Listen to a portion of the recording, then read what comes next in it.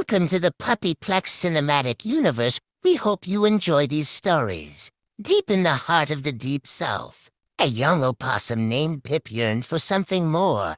Pip watched in awe as bats flew through the night sky. He envied their freedom and mystery. One moonless night, Pip ventured deep into the bayou as Pip explored further. He discovers an ancient, gnarled oak tree with an eerie glow. Intrigued, Pip approaches the tree cautiously. As Pip drew closer, Darius emerges from darkness. Darius introduces himself, explaining vampire opossum lore. Darius, last of the vampire opossums, shared his kind's tragic past.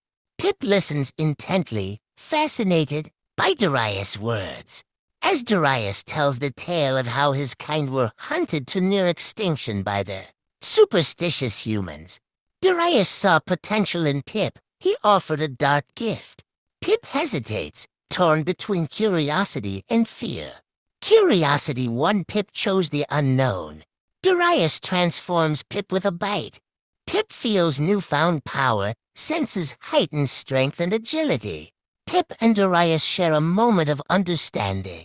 Two kindred spirits, bound by darkness. Pip explores his newfound abilities flying and super strength. Pip and Darius soar through the night sky. Together, they rule the darkness. A new hunger gnawed within. Pip's thirst for blood grows. Pip and Darius hunt for prey. They stalk the shadows. Pip feeds, experiencing bloodlust for the first time. And he settles within. With his thirst was quenched.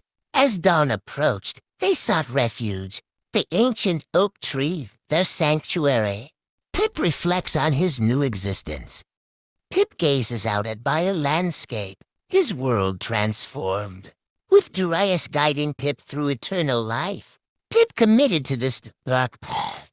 Pip and Darius stand together, united, two vampire opossums against the world.